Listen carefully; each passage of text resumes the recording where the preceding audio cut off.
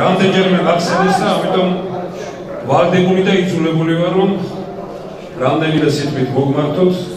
აქ დარბაზია. ნებისმიერ სახელმწიფოს დაამშვენებდა ეს ხალხი. ვინც ამ დარბაზშია წარმოდგენილი როგორც მეცნიერების ასევე ხელოვნების თვალსაზრისით და ეს ჩვენთვის ძალიან მნიშვნელოვანია არაფერი აქ განსაკუთრებული არ ხდება სხვადასხვა მოსაზრებებია იმიტომ რომ ჩვენ ასეთი შეხვედრების პრაქტიკა არ გვაქვს მიტინგებზე აგებული ქვეყანა და ჩვენ მიტინგები აღარ უნდა გადმოვიდანოთ აუდიტორიებში პირიქით მიტინგებს უნდა ვგრძელოთ გარეთაც. ეგ არის ძალიან მნიშვნელოვანი. მიტინგებით განვითარებული ქვეყანა ვერ შედგება.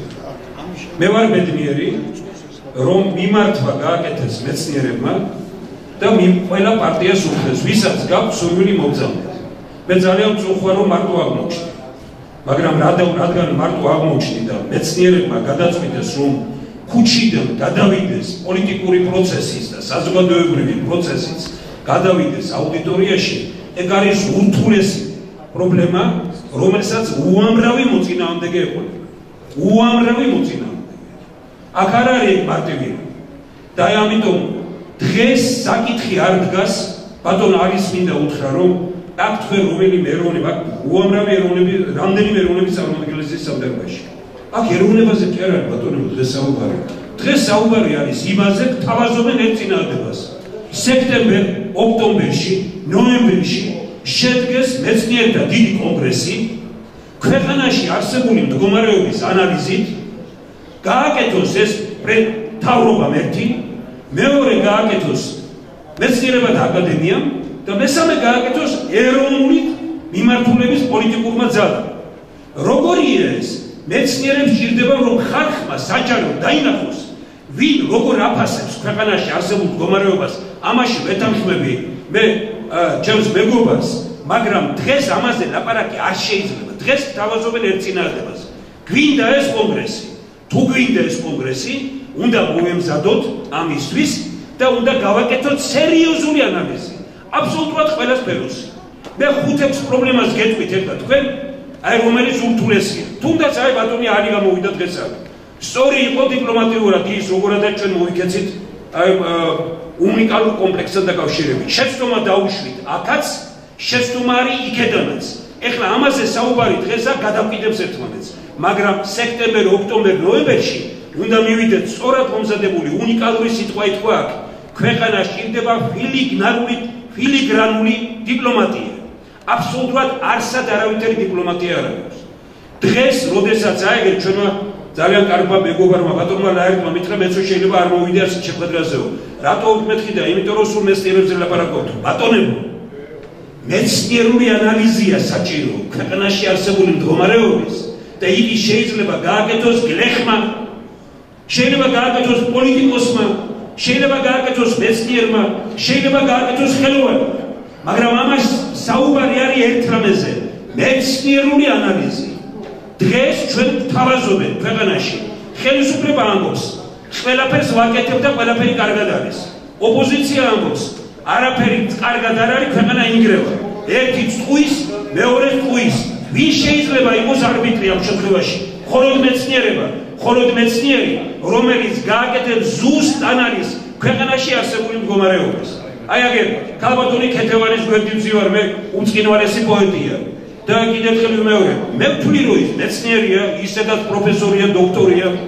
აი აგერ ჩამოსული არის პიროვნება შვედეთიდან ქალბატონი ლელა კუხიანიძე უცხინვალესი პიროვნება რაღაც საოცარამეებს აკეთებს ახლა ჩვენ მისი სამეცნიერო ტიტულებით შეგვიძლია დავასახელოთ მაგრამ ესენი ხედავენ საზოგადოებაში მიმდინარე პროცესებს აი ბატონი გელა ფარჩუკიძე რომელსაც მივესალმეთ ჩვენ აი ერთი მოусმინეთ მას და რა ჩვენ ვინმე თუ არა გვაქვს მეცნიერების დოქტორი პროფესორი თუ არ ქვია ანალიზს გაკეთება არ შეგვიძლია. ჯაკ საკითხი დგას პრაქტიკულად. მეცნიერული ანალიზი არის საჭირო ყველაფერს. მარტივ რამეს გეუბნებით. აი აგერ ერთი პატარა რამ საქართველოს კანონმდებლობის მიხედვით დავანებოთ კანონმდებლობას და პარტიებში არის იბინძური. ეს რეალობა. ქვეყანაში არის მიუღებლობა პარტიების. აქ ზიან ადამიანები, რომელსაც რომელიმე ზოუთრა პარტიაში შედიო შეიძლება გცემოს. ამ სიტყვის სული მნიშვნელობა. ანუ რა გამოდის? მოაზროვნე ადამიანებს პარტიაში შესვლა არ უნდა, ქვეყანაში იმარჯვებენ პარტიები. ესე იგი რადგან პარტიაში არ უნდა მოაზროვნე კაც და დაიცალა პარტიები მოაზროვნე ადამიანებისგან და პარტიებში სიბინძურია ჩვენი კანონმდებლობის მიხედვით იმარჯვებს სიბინძურე და მოდიან ბინძური ადამიანები ამის ანალიზი ვინ უნდა გააკეთოს, ვინ უნდა უთხრას? მე რო ვიტყვი, იტყვე რომ თემურ შაშიაშვილი პოლიტიკოსია, როცა უნდა პოლიტიკოსი ვარ, როცა უნდა მერი ვარ, როცა უნდა გუბერნატორი ვარ, მე ვარ ამ ქვეყნის მოქალაქე და ვაკეთებ ანალიზს და განსხვავდები იმ ხალხისაგან, ვინც მტრულად არის ჩასაფრებული. ქუჩაში ვინც დგას ოპოზიცია, ეს არის ამ ქვეყნის მტერი. მაგრამ ვინც აანალიზებს ქვეყანაში არსებულ მდგომარეობას, ის არის ოპონენტი. ხელისუფლება არის ბედნიერი, რომელსაც ყავს ოპონენტი. ჩვენ ყავს ხელისუფლება ოპონენტი არ უნდა და ელაპარაკება ქუჩაში ყვირალ ოპოზიციას. ქუჩაში ყვირალი ოპოზიცია და ის ხალხი ვინც დღეს რეალურად მართავს ქვეყანას, ესენი ორივენი უყავენ ერთმანეთს, იმიტომ რომ იგნორირება გაუკეთეს მოაზროვნე ადამიანებს. თავისთავად აუდიტორია რომელიც შეიკრიბა დღეს აქ მე ჩართული ვარ ამ პროცესში. ხედავ ამ პროცესს და უყურებ მომავალს. მე ხედავ როგორი შეიძლება იყოს ის კონგრესი თუ აი ეს ხალხი ვინ ჩვენ აქ ვართ სწორ გადაწყვეტილებას მივიღებთ აი ამ წიგნებს რომელშიც ბევრი რამ წერია ისეთი რომელიც ხელიდან ხელში უნდა გადავიდეს წაიკითხო. და ნახო თუ ამას ხელი შეუწყო რა არის ოთხი რამ შეთავაზეს მეცნიერებმა? პირველი სახელმწიფო კაცების საკრებულო. ვინ თქვა ეს პატრიარქმა როდის 7 წლისი?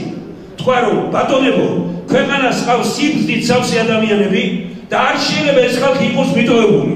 ჩვენ აი რო ხედავთ არ გიხარია გიგანო გიგა რო უყურებ არ გიხარია თომარ ხეიძეს რო უყურებ. ბატონი შოთა ჩხეიძე ექსპერტი არის ნატოსი და ქვეყანაში არამე არაფერს არ ეკითხება ყვების საკითხებში. არის უნიკალური პიროვნება თავის ოჯახით და ყველაფერი.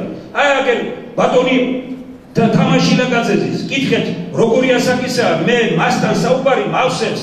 ბედნიერება მას რომ ასე შეულიალე ამასეთი ადამიანების დღეს ჯურბერ პატიაშვილის დაბადების 80 წელია და ვერ მოვიდა. მესტიარებათ აკადემიიდან ბევრი ვინმე ისედაც მიულოცოთ და თქვათ ის რომ თქვათ აი ამ ადამიანებს დიდი გამოსტილება აქვს ბეჭებზე.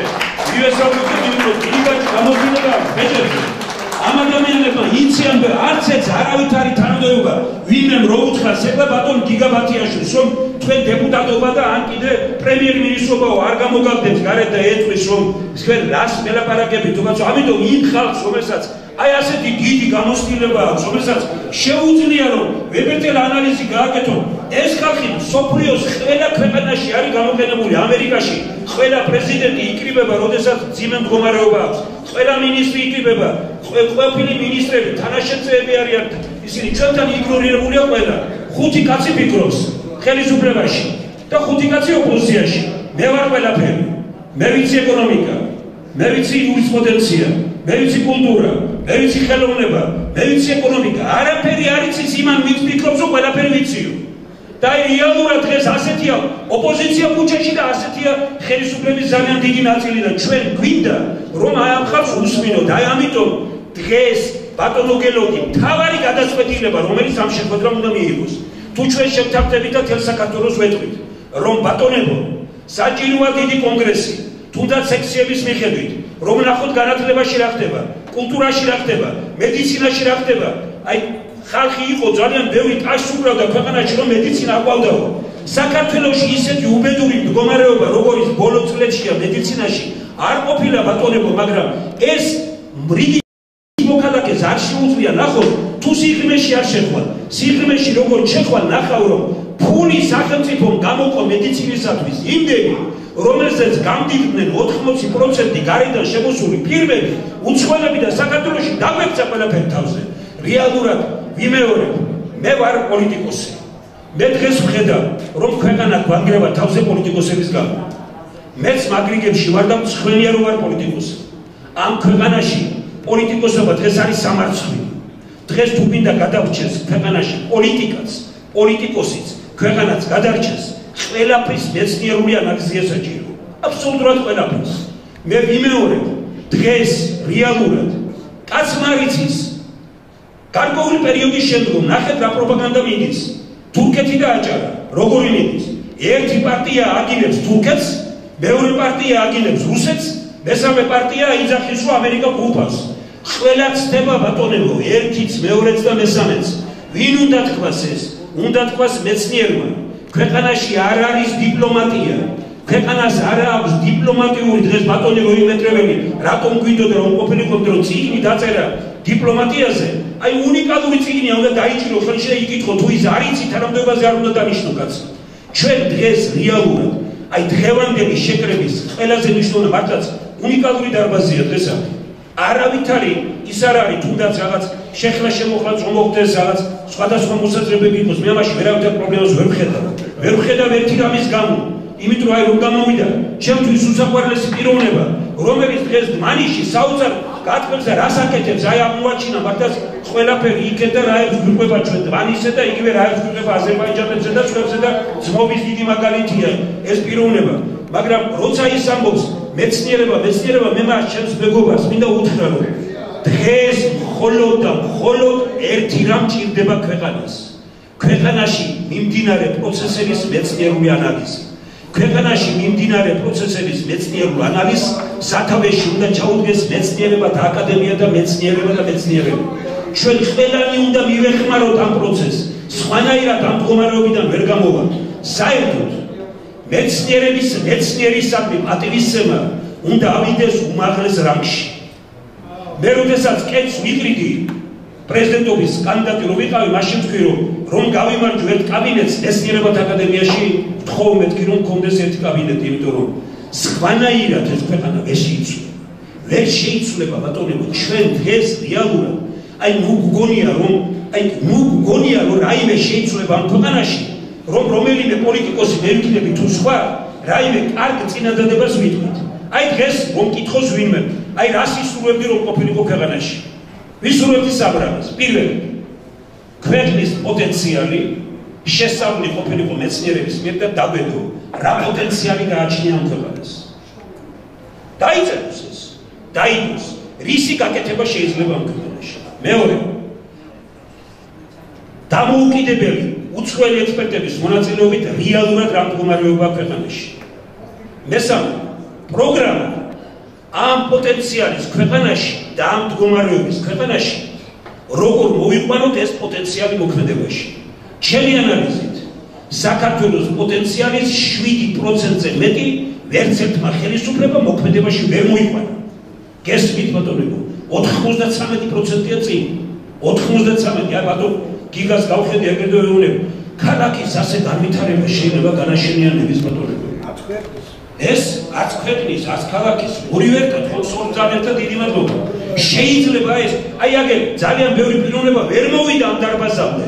იმიტომ რომ რაც ხდება სპორტის სასახლის ირგვლივ და როგორადაც განვითარდა სპორტის სასახლის ირგვლივ გარემო ამაზე პასუხისმგებლობა ეკისრება ათასვინვე. ჩვენ შეურაცხყოფა მოგვაკეთეს კაცი გამოვიდა და თქვა პარტია რომელიც მართავდა 10 მილიონი დოლარი ქონდა სეიფში 10 მილიონი დოლარი არ ქონდა მაშინ რომელიმე ბანკ საქართველოს იმ პერიოდში ესო ვინ გაძლევდა რომ შევარდნაძის მინისტრები გვაძლევდნენ ყველა ხო არ შეურაცხყოფილია რა. ესე იგი ბანდა ყოფილა ქვეყნის სათავეში შევარდნაძის ხელისუფლებასაც ეხება ეს და ბანდა მოსულა მე ერთ ბანდა შეუძლია მეორე ბანდას. ამის გაკეთება ბატონებო მეცნიერული ანალიზის გარეშე წარმოუდგენელია. ჩვენ მარტო გვჭირდება ყველაფერი აი კიდე მე ხშირად ვამბობ და ყველა მინდა გამიგოს სწორად. მეცნიერული ანალიზის გაკეთება არ არის მარტო მეცნიერების საქმე მეცნიერული ანალიზი რომ გავაკეთოთ უნდა მივიდეთ გლეხთან უნდა მივიდეთ მეწარმესთან, უნდა მივიდეთ ფერმერთან, სიტყვა არ არის ნახსენები აქ მეწარმეობის თაობაზე, მაგრამ მე ვთვლი რომ იმ ქვეყანას აქვს მომავალი, სადაც მასშტაბებელი და ბიზნესმენი ხელის გულზე ყავთ, სადაც ფერხე შეგებიან ბავშვს, სადაც ყველა ადამიანს აქვს საკუთარი რეალიზაციის საშუალება, თუნდაც შრომის უნარო რომ არის, მას შეუძლია რომ თავის თავის რეალიზაცია მოახდინოს ამ დოკუმენტში როცა გამოქვეყნდება ის თქვენ ამოიკითხავთ უნიკალურ რამეებს. აი ნახეთ, ქვეყანას ჭირდება ასეთი რამე წერია, ქვეყანას ჭირდება ის ხელისუფლება კი არა, რომელიც გადასახაცულებს ჯივიდან. არამედ ქვეყანას ჭირდება ხელისუფლება, რომელიც მოსახლეობას ხდის გადამხდელ უნარიანს. ეს არის მთელი ფილოსოფია ბატონებო.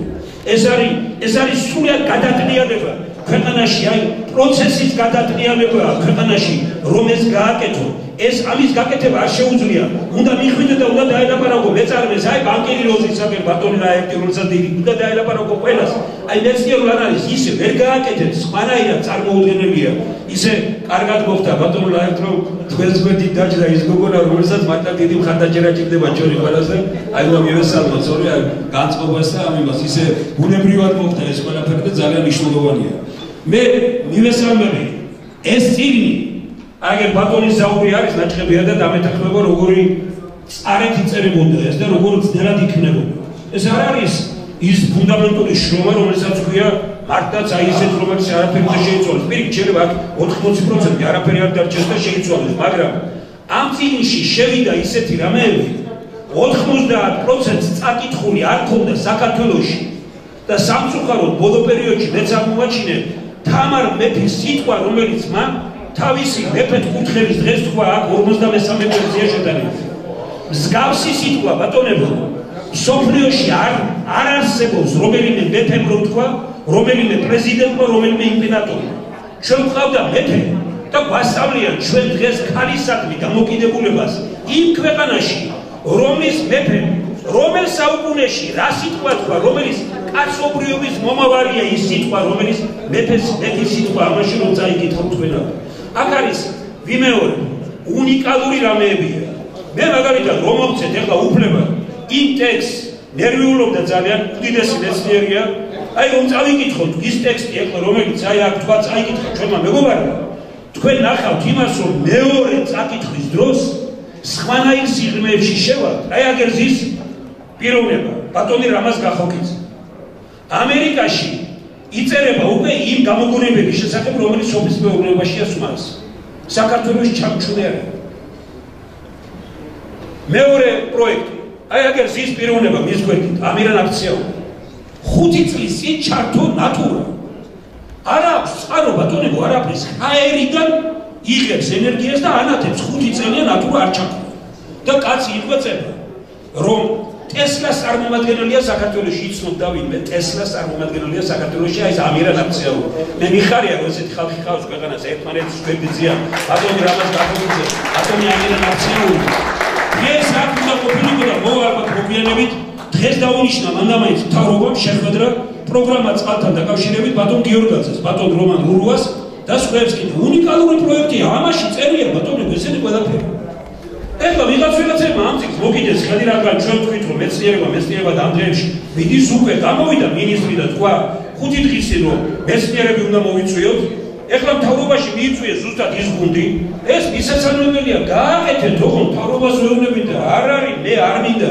ის რომ თქვა მანდამაის მე რო ვიტყვი რომ გააკეთო. სიმცხვილია ბატონებო, რომ პრეზიდენტს გადაეცა ეს სამი თვისი 9 აპრილს, თავის პრომეტია ალბათ, გადაეცა პარლამენტის თავმჯდომარეს, გადაეცა მთავრობის თავმჯდომარეს, ამ წიგნში შეტანილია, ამ წიგნში შეტანილია ხალხის წერილი. ეგ წაიკითხეთ ბატონები თქვენ უფრო კონკრეტული რამ და 50000-მა კაცმა მოაწერა უკვე ამ წელს ხელი ხალხის წერილს. იქვე არის მეცნიერების ანალიზი. და ეს მეცნიერები ამბობენ 4 რამ გავაკეთოთ ამ ქვეყანაში. პირველი შექმნათ სახელმწიფო კაცების საკრებულო როგორც პატრიარქი თქვა.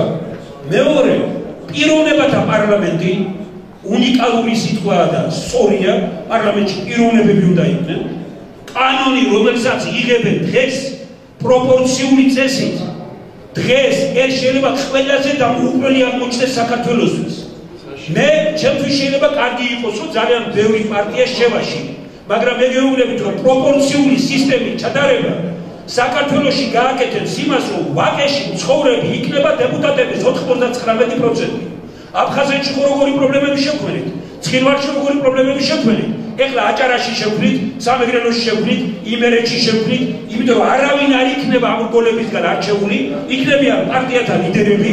ჩვენ შეგვიძლია დღეს რომ დავწეროთ სია იმ დეპუტატებისა, რომლებიც შემდეგ პარლამენტში ამწესին. ხელისუფლება გვეუბნება რომ ეს არის კარგი, მეცნიერებამ გააკეთა ამის ანალიზი. ხელისუფლება გვეუბნება რომ 60000 კაცი უნივერსიტეტს ვაშენა ქუთაისში. დღეს ვისაც არ უნდა შემდეგ ეთქვის რომ გადასარევია კარგია და ბედნიერება. მე კი ვთვლი რომ დავიღუპებით. მე შემომთავაზეს 30000 კაცზე უნივერსიტეტი შერულობა ქალაქის მერი რომ ვიყავი ამერიკაში და მითხეს გავაკეთოთ მე ვკითხე ვინ ისამის მეთქია და დაიწყეს აფრიკა ირანი სხვები ვეთქარი ქუთაის გუბავთ მეწავალ თანამდებობიდან და მაშინ ააშენეთ მეთქი 60000 სტუდენტი ქუთაისში დღეს ნიშნავს იმას, რომ 90% იქნება აფრიკიდან, ირანიდან, თურქეთიდან. მე არავითარ საწინააღმდეგო არ მაქვს ამ ქვეყნების, მაგრამ ისწავლონ თავიანთ ქვეყნებში. თქვენ გესმით დღეს 50000 კაცი საქართველოსში გარშემო მოვიდეს. აი ხო ხედავთ ხალხი უკრავდა ტაშს მედიცინას, სინამდვილეში მეცნიერებთან არ არის უგავაკეთებ თვითონ რომ დაინგრა მაშინ. ხალხი უკრავს ტაშს ამ უნივერსიტეტების შეგრობას, თუ მეცნიერულ ანალიზს გააკეთებ, მაშინ მივხვდები იმას, რომ ეს კატასტროფა. დიდი მადლობა ბატონო. მერა პერძენიშვილს ამ თიუკას. დიდი მადლობა ბატონო რეზო ჩხეიძეს. რო აი გვაძალებდნენ 5-5 ლარს, 10 ლარს, 20 ლარს დედით ეს 200 კაცი მიცვიტავით, ბატონო მერა თვითონ ზოგჯერ 100 ლარი, 150 ლარი. თვითონ თვითონ რომ დადო რომ წავსულიყავით უცხოეთში და 40-მდე ქვეყანაში შეგვექნა საინიციატივო ჯგუფები ამ კონგრესის ჩატარებასთან დაკავშირებით. ჩვენ ნახეთ 700-მდე ადამიანი, რომელსაც უდიდესი რამეების გაკეთება შეუძლია ქვეყანაში, როგორ ამბობენ, რომ ასეთ ქვეყანაში არის, სადაც მუდმივად ჩხუბია, მუდმივად გინება, მუდმივად რანძღვა, სადაც ტრობა და არა ქვეყანაზე ფიქრი, ისინი ამბობენ, თუ მეცნიერები წამოწევენ თავიანთ სიტყვას ქვეყანაში, ეს არის საზღვარგარეთ ცხოვრები ძალიან ჭკვიანი ადამიანების აზრი. რომ ჩვენი მეცნიერების აკადემიის მეცნიერებათა აკადემიის პრეზიდენტს რამდენიმე ქვეყანაში აქვს უდიდესი მისი ისინი ხორციელდება საქართველოსში არ არის. ასეთი ერთი და ორი კი არ არის. და ჩვენ ესენი გვეუბნებიან, როცა ასეთი პოტენციალი აქვს ქვეყანას, შეძენით ვინმე იმის ამ პოტენციალის მოქმედებაში მოყვანა. დღეს ეს შეკრება აბატონო. კიდათ უნდა ვიაროთ ამზით მე აი სიცოცხლის ფასად დგევარ ახალ ფილოსოფიასთან მართვის და სიცოცხლის ფასად დგევარ იმასთან რომ სრულიად გადასატრიალებელია მართვის სისტემა ქვეყანაში ამ ქვეყანას ჭირდება არა ფულის ძალაუფლება და არა ფულის უფლება ამ ქვეყანას ჭირდება ნიჭის უფლება და ნიჭის ძალაუფლება ნიჭის ძალაუფლება არის მეცნიერთან ხელოვანთან ინტელიგენციასთან. უთი და მოედანი ქვეყანასა. დიდი მადლობა.